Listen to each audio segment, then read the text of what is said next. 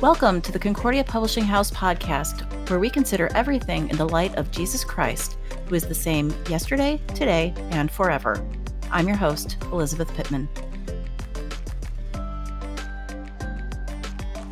All we have to do these days is turn on the television, the radio, open up social media, and it's not unusual for us to see people sniping back and forth at each other. I'm right, you're wrong. My opinion's the only one that matters. And if you don't listen to me, well, you know what? You're canceled. I'm so glad that we're able to welcome our friend, Pastor Ted Doering, back to the podcast today. We're going to talk about how we can reclaim kindness. Hi, Ted. Hey, good to be back. It's glad to see you. Now, before we jump into making the world a happier, nicer, friendlier place, which I know right. you have all the answers for that. Oh, yeah, yeah. I'm glad. One stop shop. We're good to go. Exactly. I knew this was going to be a magic bullet. Mm-hmm. How have you're down in Texas? Mm-hmm. And Texas has been in the news quite a lot lately. And I know you've been right in the thick of things. Tell us a little bit about what you've experienced and how you're doing. Yeah. So uh, last week was, uh, and we found this out middle of the week that the storm had a name which was Winter Storm Uri, uh, straight from you know up north in the Yukon. But it was it was Sunday night. We have um, our house was built in 2014, I think, so newer house.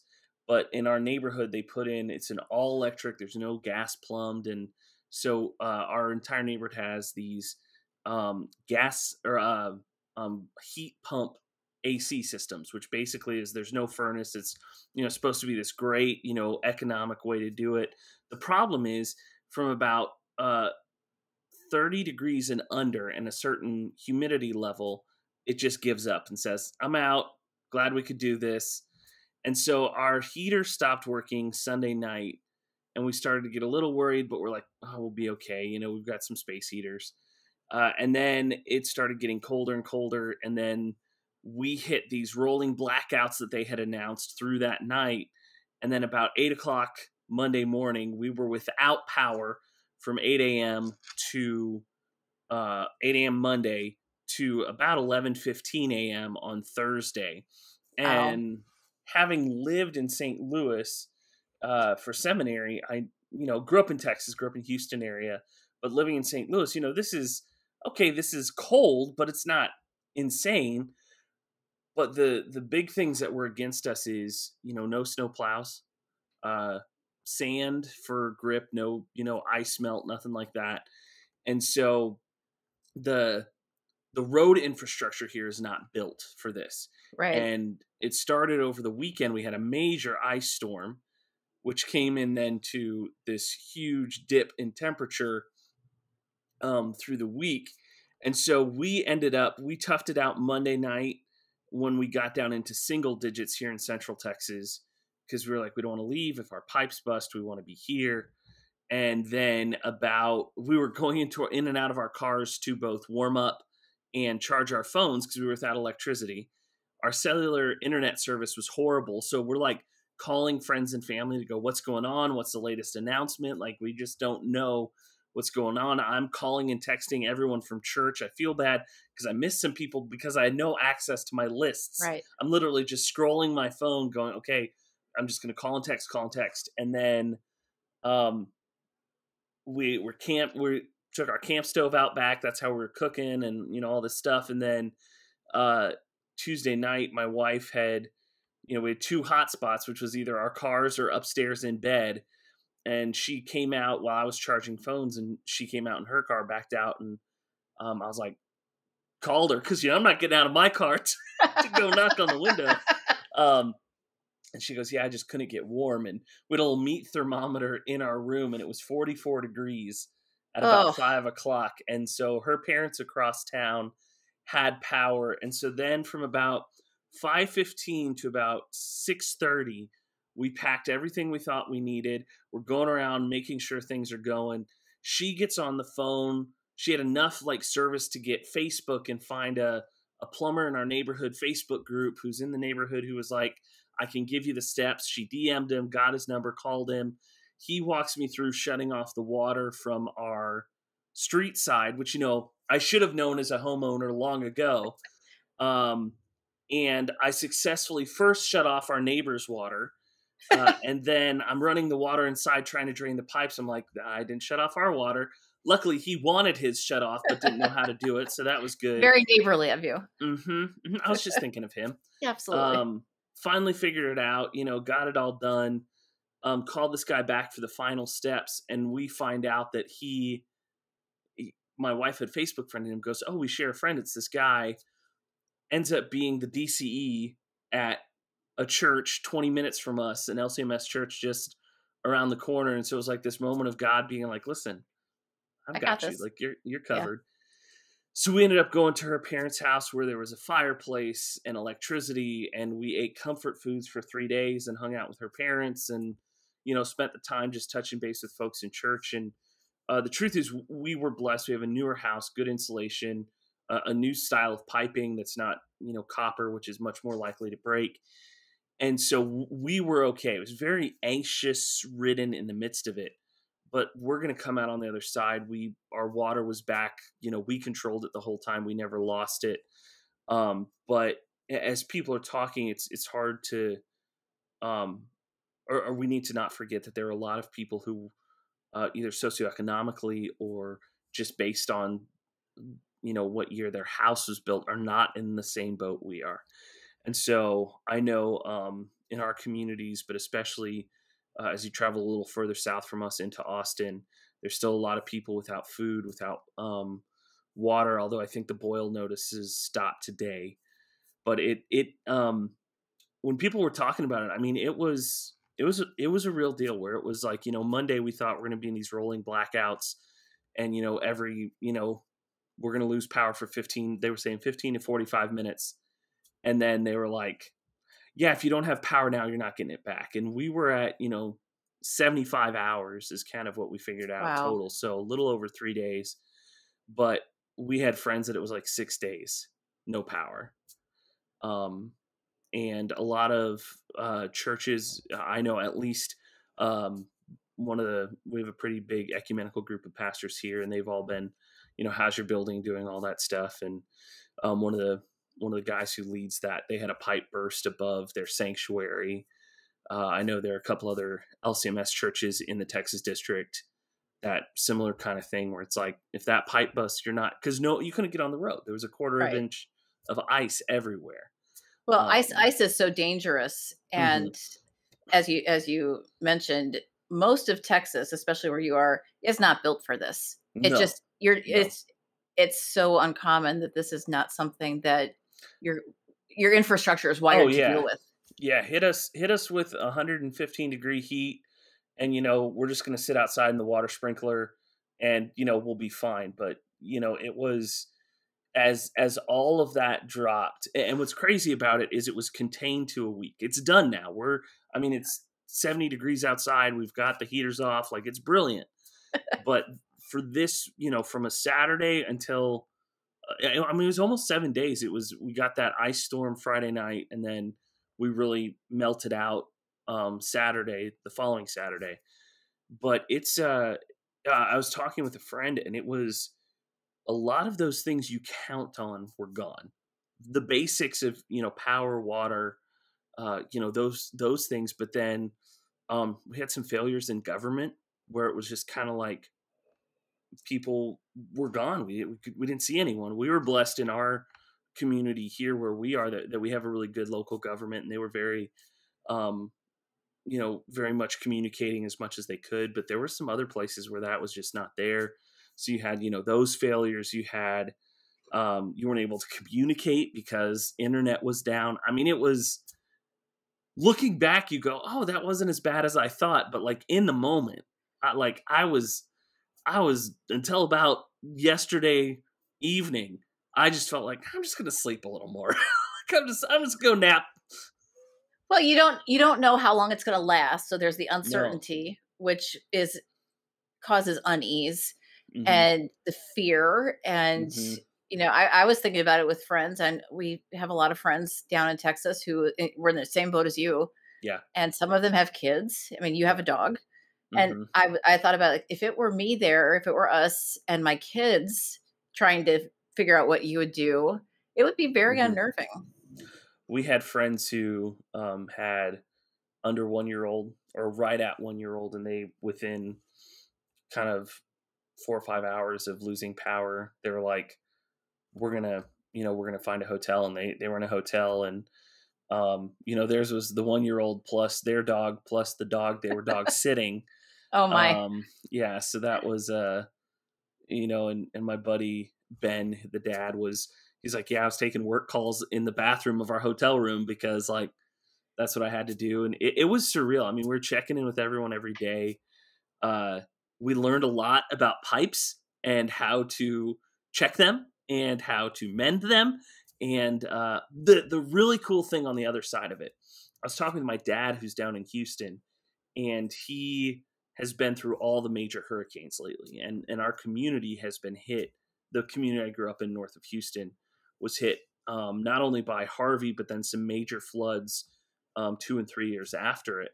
And so dad has has been in those places of they would have teams just ready to go. And, you know, we are kind of prepping that thing. But what's really cool with this is whereas with a, a hurricane, you know, an entire community gets flooded. And so it's like, okay, if you're part of the community didn't, then you're helping because, right. you know, entire streets, entire neighborhoods. But with this, it was kind of like, you know, some houses had pipes burst, some didn't.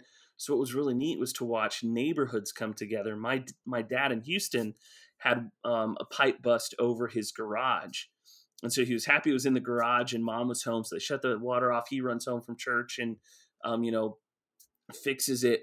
But when he had gone to the hardware store, he had bought. He was like, "I'm going to buy four pipe caps just in case." And sure enough, two houses down his street, both had this exact same pipe burst. Oh, and wow. so dad spent the afternoon just helping these folks repair their pipes and and that's kind of the cool story to come out of this is uh our neighborhood Facebook group was literally people going, "How do I shut my pot- water off?" and you know, people hopping in and saying, "Doing this," or "Hey, do you need a shop vac? I've got one." We had someone who, after it was done, but like grocery shelves were bare, said, "Hey, I had a friend drop all this stuff off. I only need this.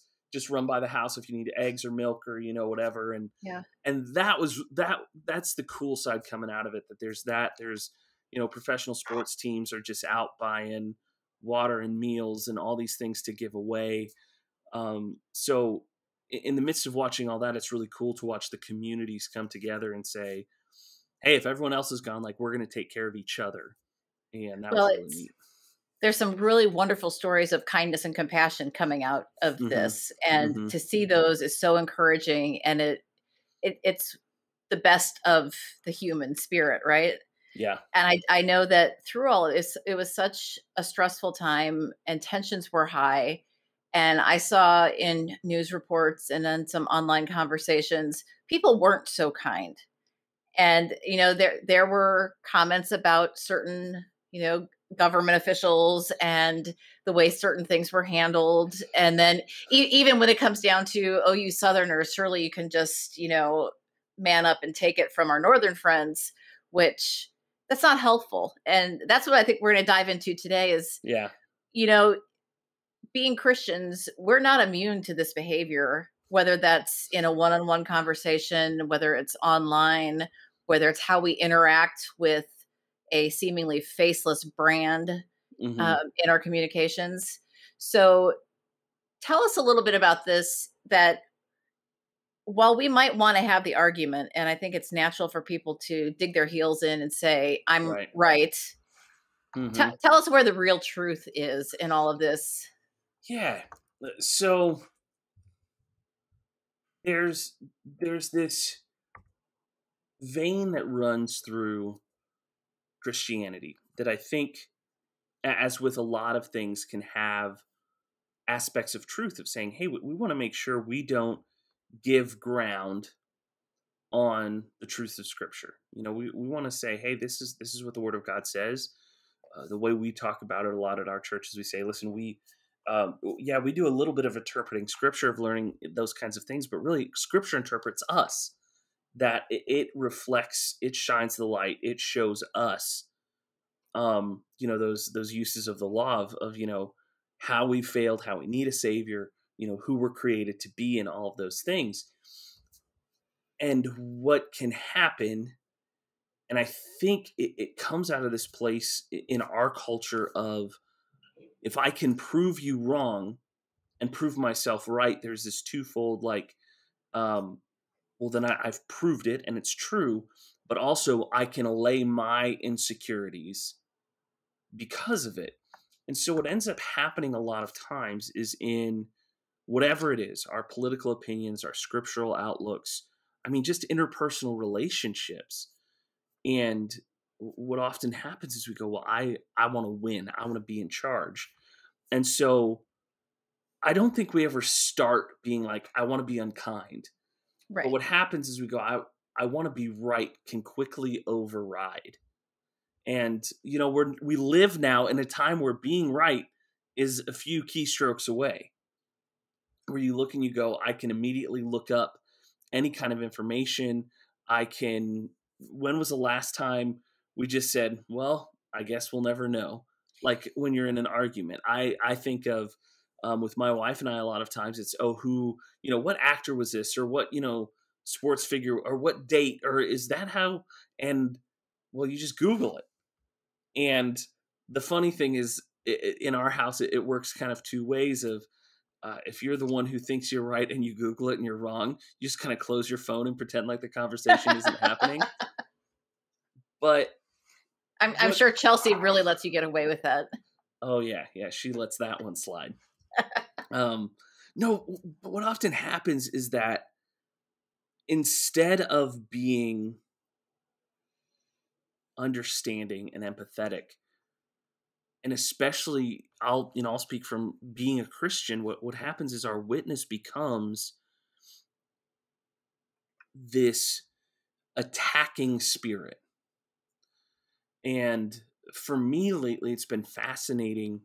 There's kind of this genre building of uh, podcasts and vlogs and stuff that's the faith deconstruction that it's people who have gained some kind of following on social media on youtube and they grew up as christians and now they've kind of grown out of it and so they do this podcast youtube video about here's my faith here's what i've learned and here's where i go and and i've seen there have been a couple bigger name YouTubers, especially who have done this.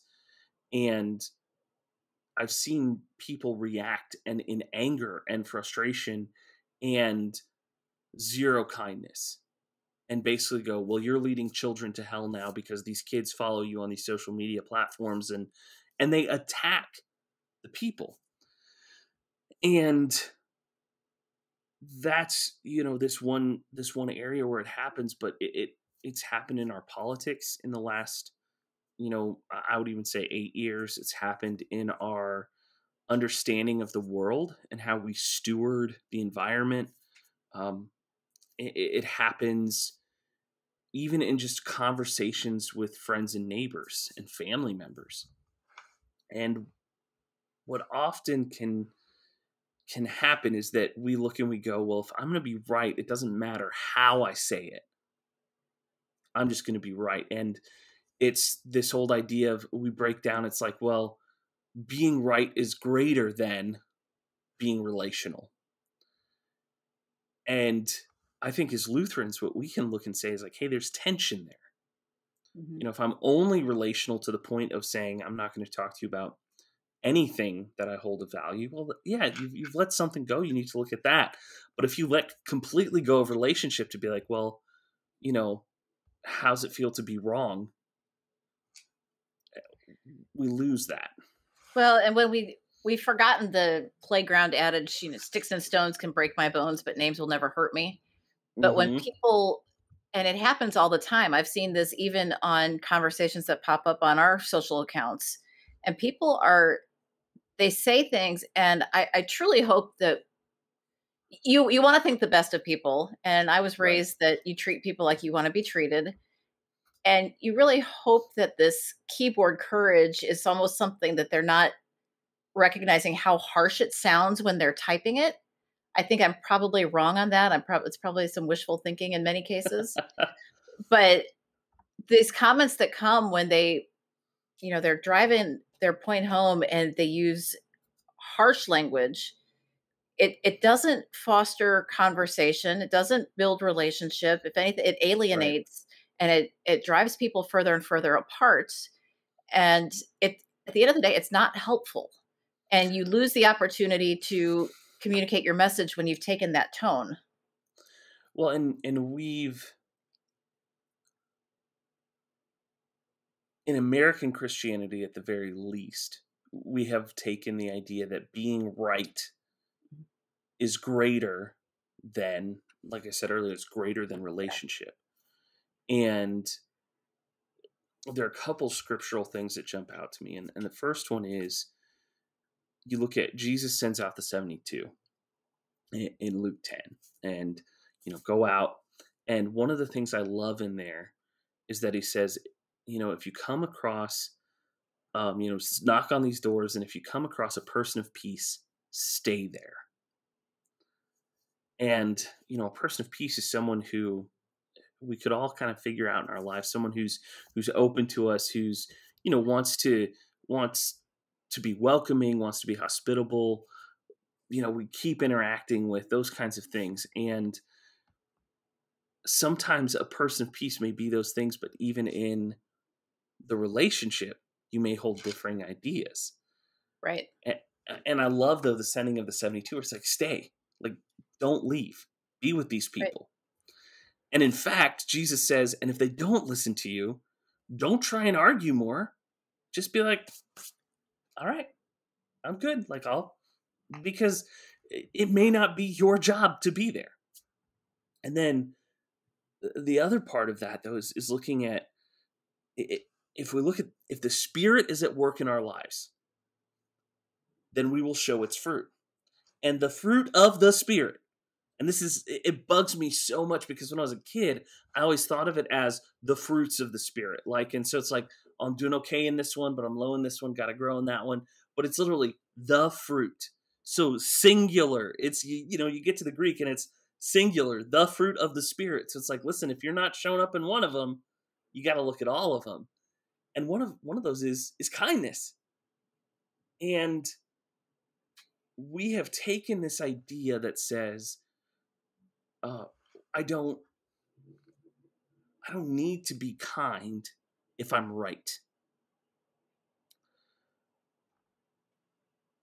And I think that's wrong.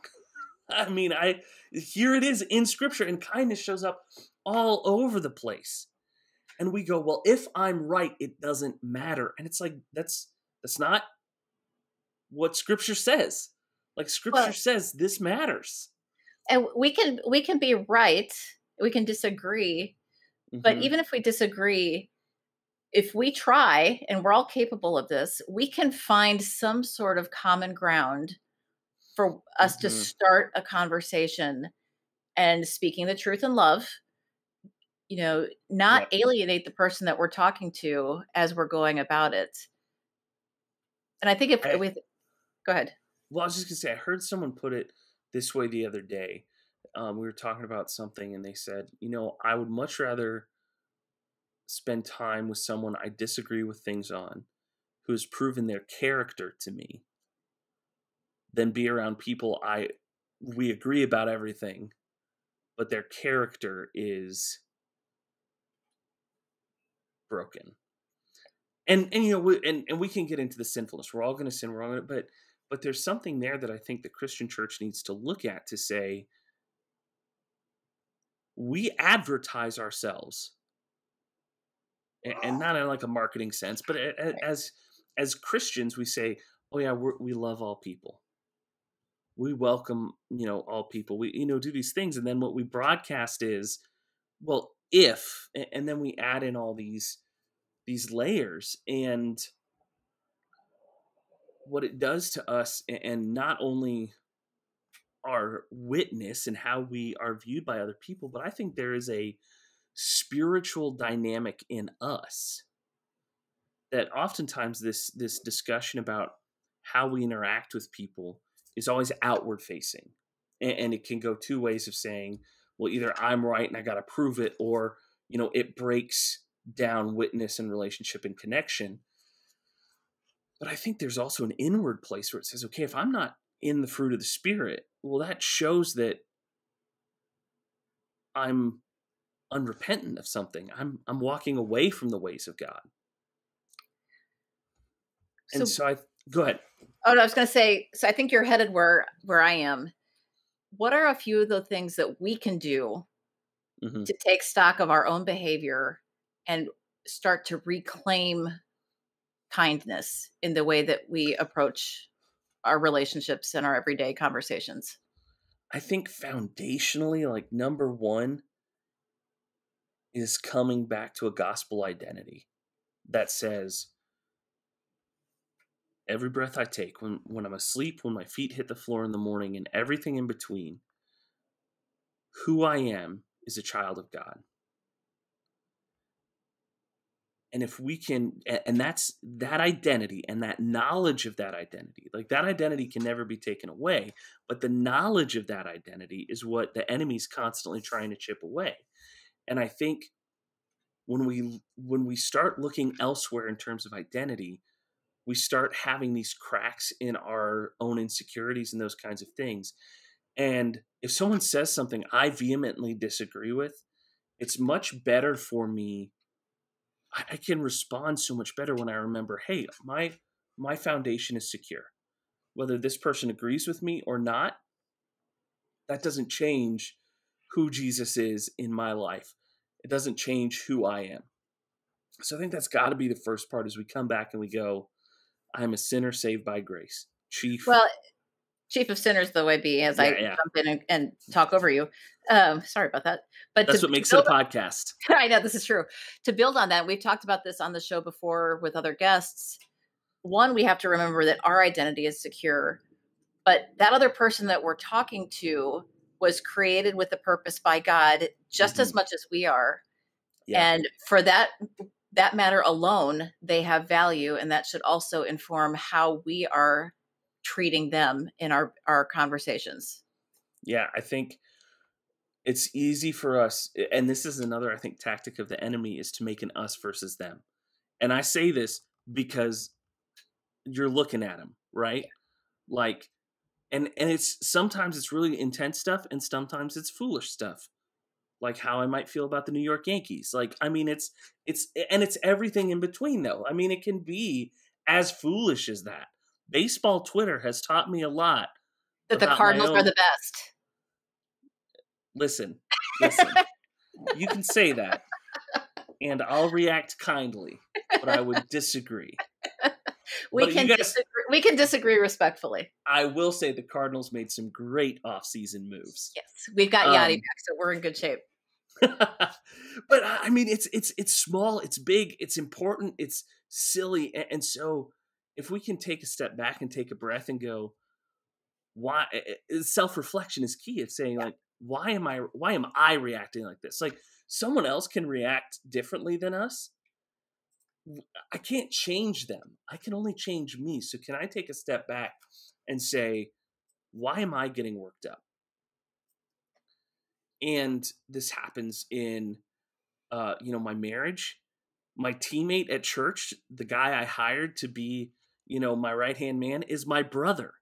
And so you want to talk about to Oh yeah, and I know what to push right back. and so I've learned a lot about communication and this is a healthy Christian like brotherly relationship and we have to like slow down and return to these places. And I think for us kindness is about saying if I know who my savior is, if I know the depths of his love for me, maybe I can love people a little bit deeper. And maybe I can let go and say, my job is not to change everyone's opinion. My job is is to stand up, but but not to be I don't have to right every wrong. Right. And it's it's interesting because I think kindness actually and this is the ways of Jesus end up, you know, that you know, my my burden is easy. My yoke is light. And so often we all feel those heavy burdens of, oh, I'm a Christian, I have to. And I think sometimes in kindness and gentleness, God is giving us a chance to be like, you don't have to fix that. Right.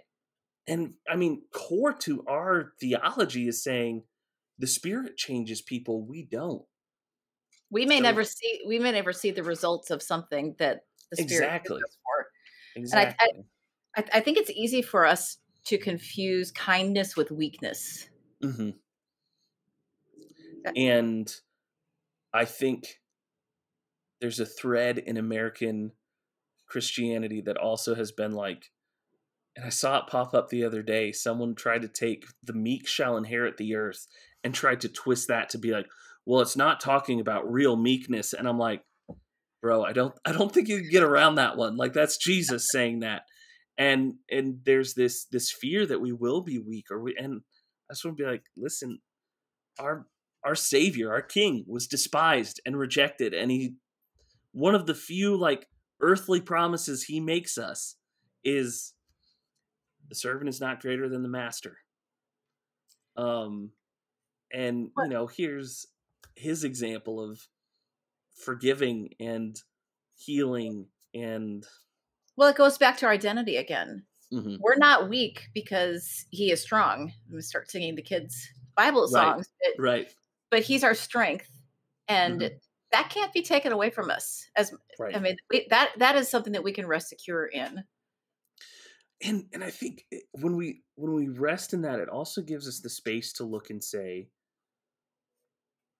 we don't think more highly of ourselves than we ought to. And I love somewhere along the lines when I was in college, I heard someone um, talk about learning to be the chief repenter.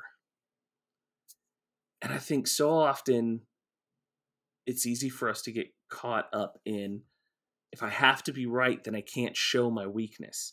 Right.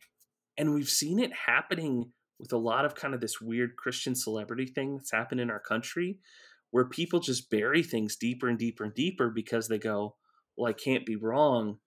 As opposed to, could you imagine what it would, the witness it would be if you could, you know, you let it fly on Facebook and then 20 minutes later you come back and go, hey, I'm going to leave this comment up, but I need everybody to know I'm an idiot. Like I said this in anger and in frustration. I'm not perfect. I worded it entirely wrong like and i've seen some people do that and i go that's powerful well it's more powerful than erasing it and pretending that it never happened. Right right. And that again is trying to sweep our sins under the rug mm-hmm. and hide them from everyone else. How can our lack of kindness how should we view that as a warning sign of something deeper? Yeah i i love uh, this has been part of my own personal spiritual growth is looking and saying for a long time I looked at sin and falling short as you know oh woe is me. Like I was the pastor's kid and everything it's just like I needed to be perfect. Grace was for everyone else. I had to earn it. But what I've started learning more and more is I don't want sin in my life but I know you know that what I don't want to do I do. But if we can look at it as a symptom and say okay when I get a you know when I start sneezing a lot I know, you know, Central Texas is trying to destroy me via allergies. And so it's as simple as waking up in the morning and taking my allergy pill. And you know what? There are days that it's three o'clock in the afternoon and I'm blowing my nose, but the allergy pill's upstairs. And Chelsea, my wife, looks at me and goes, Go take your pill. And so if we look at unkindness, um, if we look at uh, bullheadedness, if we look at, you know, keyboard warrior on social media, if we look at those things and we start going, um, these are these are symptoms, and the the the solve to this is not I need to be better. That's that's where we get mixed up as we go.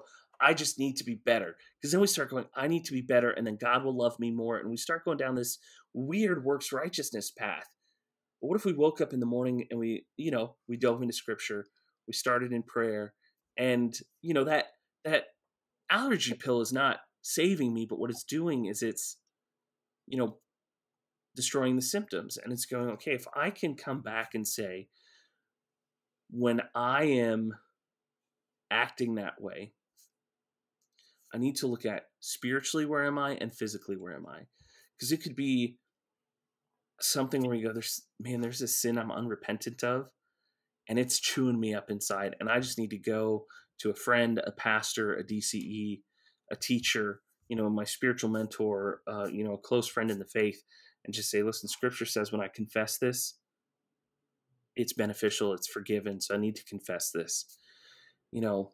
But it could be something, uh, you know, we can't separate the body and spirit. Sometimes it's like the sin of being unrestful.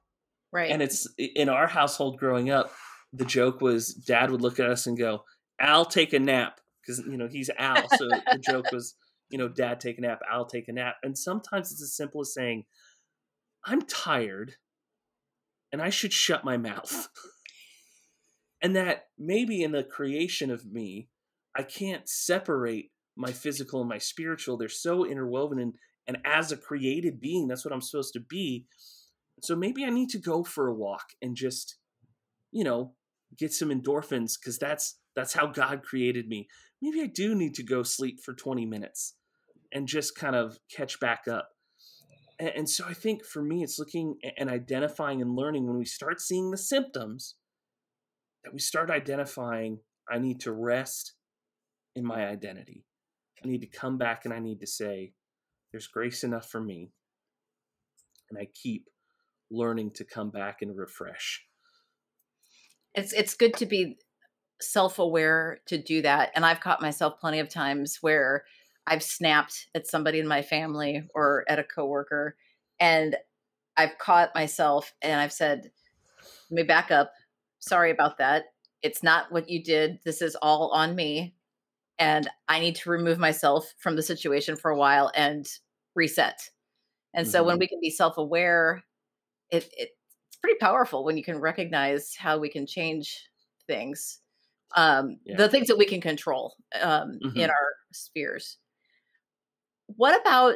So we all have our spheres of influence. For some, it might be you, as you're a pastor of a church. It could be with coworkers, friends. It could be with an online community so we've we've talked about looking inward and how we can kind of think about kindness in our own lives. How can we set that example for the people that we have influence over to help? Maybe, maybe we're seeing some unkind behavior happening. Maybe there's it's so obvious. How can to help bring people along without you're being unkind? How dare you? We need to. You need to go repent. Yeah with, with without like mm-hmm. falling prey to the whole yeah and and i think part of this is again we're gonna we're gonna see people and we're gonna see christians who are unkind. And we have to realize that our job is not to correct all of them. You know there there will be people we need to correct but we can't control everybody. Um we can't control really anyone but we have these you know this is the body of christ at work that we see examples and we see uh, calling each other out in love, you know, those kinds of things. I think of, you know, Paul says, imitate me as I imitate Christ. And this is this is a discipleship thing, is that you know, we we all have people who are discipling us in the faith. And then we all should be looking to say, who am who am I discipling in the faith? and it's this give and take and it's it's all along the road and we need to be aware to say i need to invite people along in my life to see this at work. And it's to be smart enough to go uh, number one i'm watching people in the faith so that means there are people watching me. And sometimes it's it's just being kind in front of people you know who are watching and that's that sounds contrived but i don't think it is because sometimes we have to you have to use training wheels before right.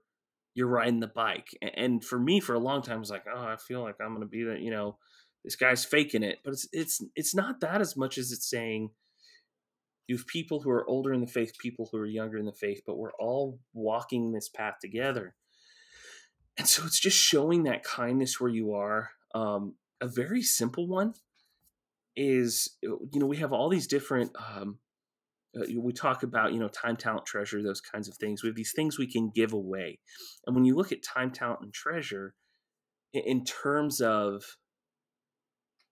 how can I use those for kindness? You want to show someone kindness over tip. Like when you can and you're able to, like I get that that's a money thing and some people aren't able to do that, but if you can, tip someone when they don't deserve it. Like that's a kindness they won't quickly forget. Um, you know, spend time with people that uh, we're in this weird celebrity culture. And one thing I've noticed as I've read some of these stories of the breakdown is like church leaders and pastors who start separating themselves out. Like you can't you can't be with everybody. Like that's just impossible. But like spend time with people and not like here's my ministry time, but like well, that's what I love the, at the top of the show. You mentioned how you were calling people from your congregation like every day. You were going through mm-hmm. your list, and that that intentionality they're not going to forget that you reached out to them and you checked on them. Well, and the key is I'm not good at that. Like that's not I'm good at relational like you're with me, we're hanging out. I'm yeah. great at that. Me calling you up is is not my strong suit. Mine either. And and, and I think that's sometimes we just have to look like some things you know, I think about about like working out and stuff. Like I've I've got a lot of weight to lose. I got those kinds of things and there are things I do working out that like I grew up playing sports and doing those kinds of things. And there are certain things that I just love. And it's like, oh yeah, this is easy, this is fun. And then I look at like cardio and I'm like, I hate it. I have to do it, but I hate it.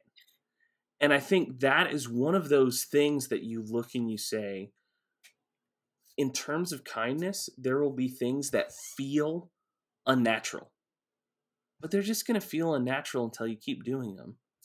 And so for me, it was looking and saying, like, it was honestly, it was the example of my dad, who's a pastor, and him, you know, his process in the midst of um, emergencies, of hurricanes, or these kinds of things. And I'm like, I need to call my people. And I wanted to check in on them.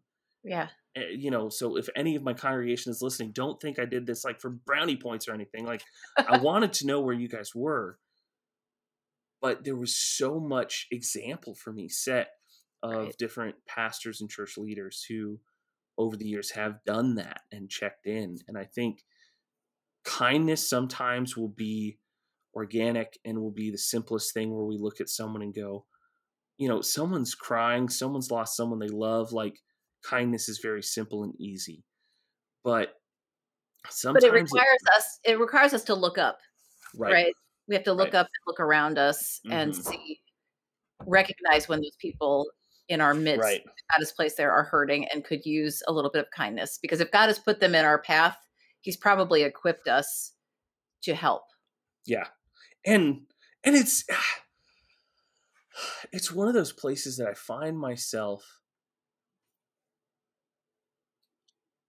The older I get, the more I learn about I had this idea of like the supernatural Christian person. And and what I keep learning more and more is like it's so much simpler than that. I don't have to create this like supreme, you know, super Christian. It's like it, and and for me part of it was my neighbors too. So I've got uh, BJ who lives uh, on one side and Mike and Tammy on the other. And in the midst of this storm, it was just checking in with them it was going, how you doing? What you got? You know, what's going on? Do you need us to take care of anything? You know, them checking in on me.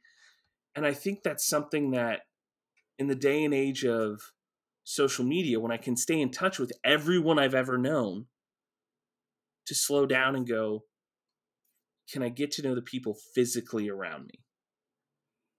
And that I think kindness is sometimes easier in a local community than it is in an electronic one.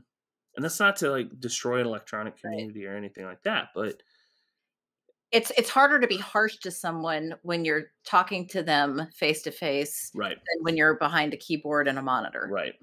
Yeah. So as we start to wrap up, you've said a couple of things that I'm going to set you up. You've mentioned discipleship, you've mentioned simple.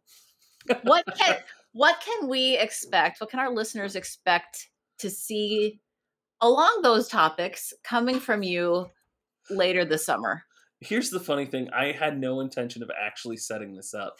But here we I, are. I know you didn't, but you did without meaning to, and I just happened to pick up on it. So I'm going to give you the opportunity for your elevator speech.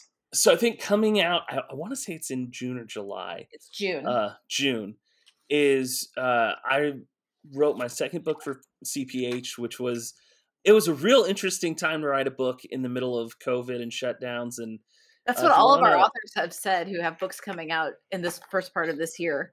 If you Uh, ever want to have a deep discussion about imposter syndrome, um, we can talk about the summer and writing a book in the midst of COVID.